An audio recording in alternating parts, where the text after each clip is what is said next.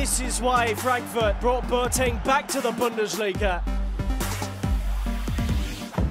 You and me forever walking.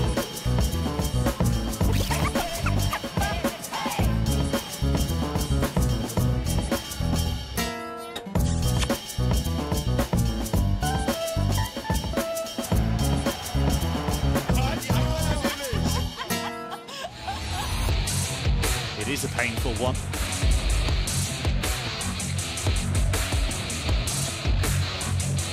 Well, we knew that Kerem Demirbay could absolutely smack the ball, but we didn't expect this.